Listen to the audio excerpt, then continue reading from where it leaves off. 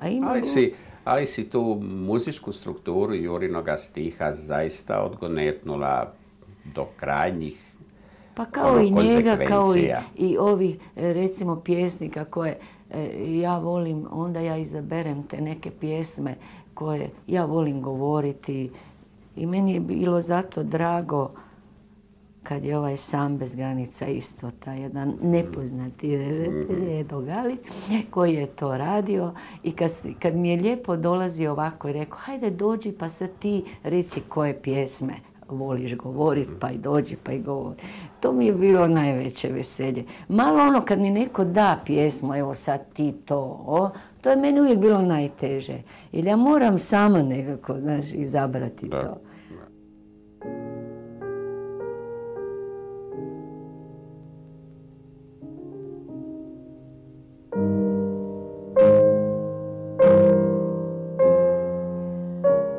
Nitko više ne pamti njegovo ime, niti mu zna sudbinu.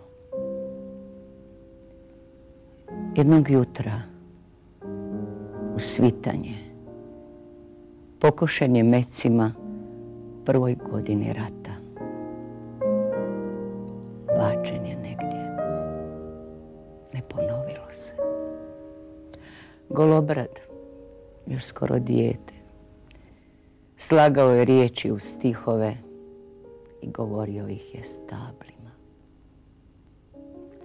Kad bi stabla mjesto šuštanjem znala riječima govoriti.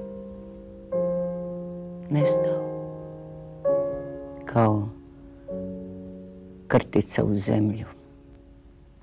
Kao vidra u vodu. Zaronio kao kamen u more, u vrtlog, vihor, u divlju dubinu. Nija ga više ne tražim. Jedino zvono naše male gospe neutješno ječi u predvečerje. Stojim na zid naslonjen, a on prilazi. Oprosti, malo sam zakasnio.